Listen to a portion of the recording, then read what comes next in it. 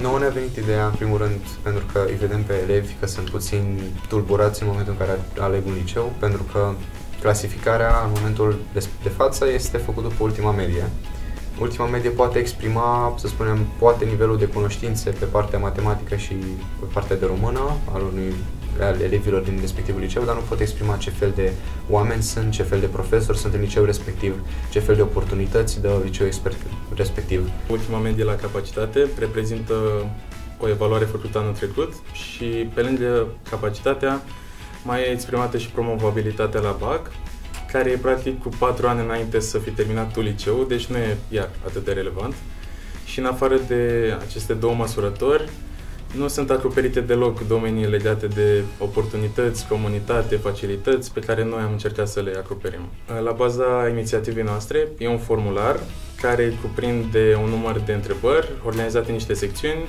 Fiecare secțiune e adresată unei anumite categorii, de exemplu elevi, profesori, părinți, absolvenți și fiecare întrebare uh, adresează direct o astfel de, o astfel de problemă cât de diversă e comunitatea din liceul tău, care e nivelul resurselor, etc. Cu personalizate cumva pentru fiecare categorie, adică pe profesori întrebând, de exemplu, cât de des folosiți resurse educaționale digitale la clasă. Eu m-aș lega mai mult pe partea de evaluare, pentru că, din nou, este foarte vag în momentul acesta modul prin care elevii și aleg liceu. Se îndrumează doar după ultima medie, care, din nou, nu poate arăta foarte multe chestii despre un anumit liceu și din sfaturile celor din jur. Sfaturile celor din jur poate se pot lega de comunitate, se pot lega de profesori, de oportunități, dar dacă am avea o analiză chiar de la elevii instituției respective, atunci am avea mult mai multă încredere în respectiva metodă de evaluare și respectivul liceu. Mi se pare un lucru rău că la momentul actual este pus foarte mult accent pe o, un număr restrâns de materii. Ai română, ai matematică și la diferitele profiluri ai câteva materii pe care este pus cu adevărat accent. Dar în cazul în care uh, ai interese diferite de acestea, nu ai la școală cum să ți le, uh, să ți le dezvolți.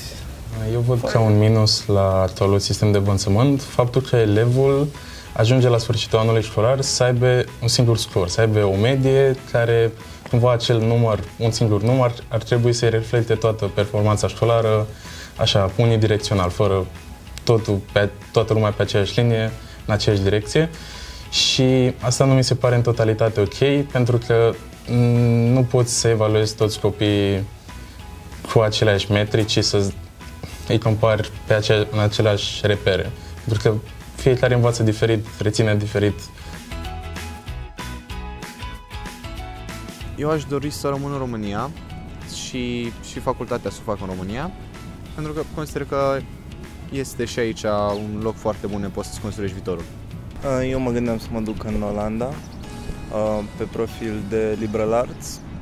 Uh, mă duc acolo pentru că um, sunt de părere că în România nu ai atât de multe opțiuni pe latura umanistă. Eu am aplicat la câteva universități în străinătate, fiind în situația în care nu știu sigur nici pe ce continent o să fiu într-un an, ceea ce se pare interesant cel puțin, uh, dar sunt destul de sigur că după aia o să mă întorc cu resurse noi și am luat decizia asta pentru că pe nișa pe care vreau să merg eu, pe inteligența artificială, nu avem un program de licență în București foarte axat.